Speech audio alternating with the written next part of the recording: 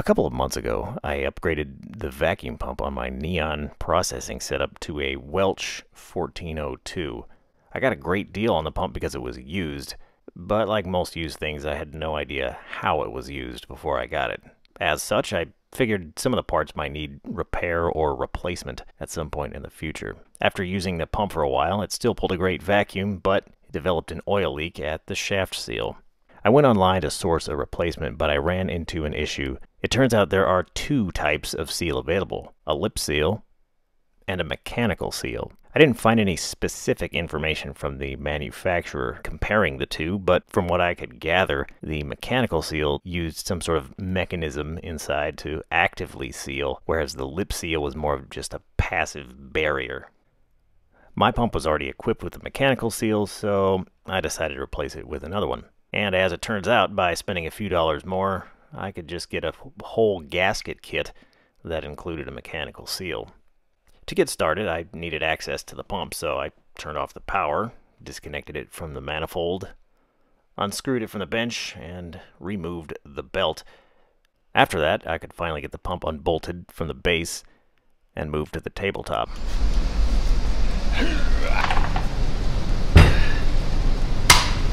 The gasket kit, of course, did not include any instructions, so I just grabbed what parts I thought I might need to seal the shaft leak and set the other parts off to the side since the pump was not leaking anywhere else. The pump user's manual does have a section entitled Shaft Seal Replacement, but it doesn't really go into much detail.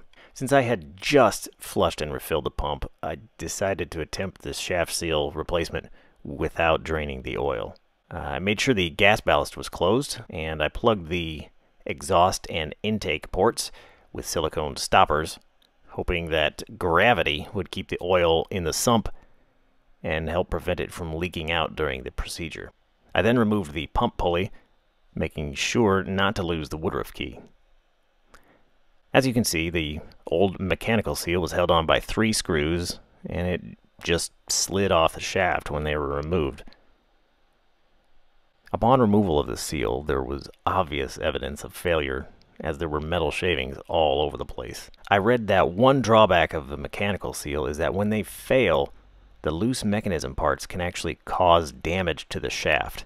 My shaft looked okay. There were some areas with polishing, but I didn't see any severe grooves or damage. The shaft seal gasket had firmly adhered itself to the body of the pump, and a razor blade was required for careful removal and cleanup. Information about this other seal was scarce, and it appeared to possibly be the inner shaft seal. However, to replace it, I would have had to crack open the case, and that was precisely what I was trying to avoid. Hopefully, just replacing this outer mechanical seal will resolve the leaking issue. So, with the sealing surface cleaned and prepped, I thoroughly moistened all the surfaces with pump oil and then slid the seal onto the shaft. Here I tried to apply pressure to the side of the seal opposite the slot for the Woodruff key to attempt to keep the edges from slicing into the new seal as it was installed. After aligning the holes in the gasket and the seal, I loosely threaded the screws and then checked the alignment of the seal around the shaft.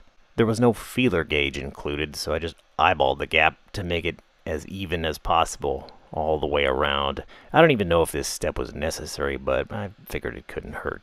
After tightening the screws, I replaced the pump pulley wheel and turned it by hand to listen and feel for any interference, but there was none evident. So, satisfied with the installation, I tipped the pump back upright and just out of curiosity, I checked the stoppers for signs of oil, but there were none.